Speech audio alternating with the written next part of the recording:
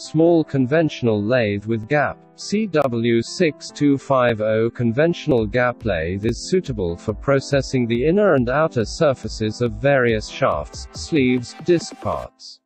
The lathe can be equipped with chuck protection. Gap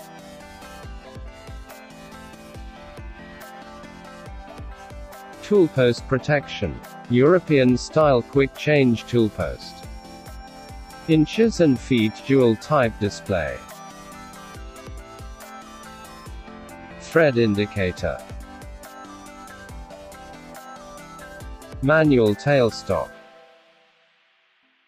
Foot pedal. Taper turning attachment.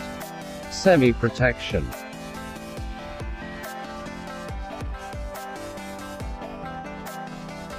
Schneider Electric. DRO, steady rest, follow rest, and so on. This lathe can turning, taper, threading, grooving, facing, chamfering, tapping etc. If you are interested, please contact us as soon as possible.